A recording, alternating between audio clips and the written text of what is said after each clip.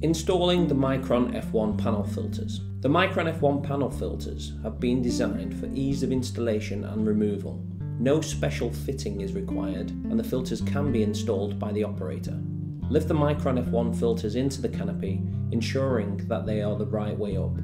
The handles should always be underneath the coil opening. When the Micron filters are installed, ensure there are no gaps around the sides of the filters and there is a metal to metal contact around all sides. Please note, any gaps at the sides of the filters will stop the Micron's efficiency as gaps create an escape route for grease and air.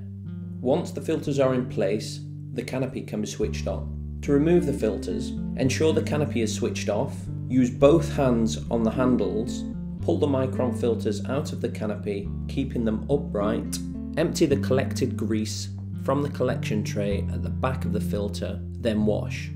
For further information, please contact info at veritechfiltration.com.